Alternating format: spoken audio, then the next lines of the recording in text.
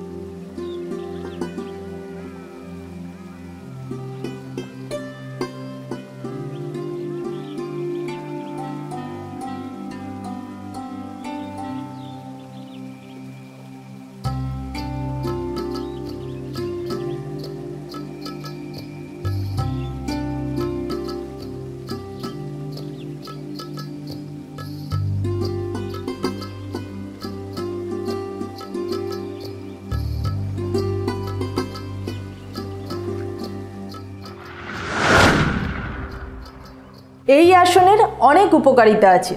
তার মধ্যে প্রধান হলো আমাদের মেরুদণ্ডকে সবল করে স্ট্রাকচার চওড়া করে। আর মেরুদণ্ডের আশেপাশে যেসব স্নায়ু আর হাড়গোড় আর পেশি আছে, সেগুলোকে সবল করে। এছাড়াও কোষ্ঠকাঠিন্য দূর করে। আর সব থেকে বড় কথা হলো, বার্ধক্যজনিত রোগগুলোকে কমায়। আর বার্ধক্য ডেকে আনতে দেরি হয়।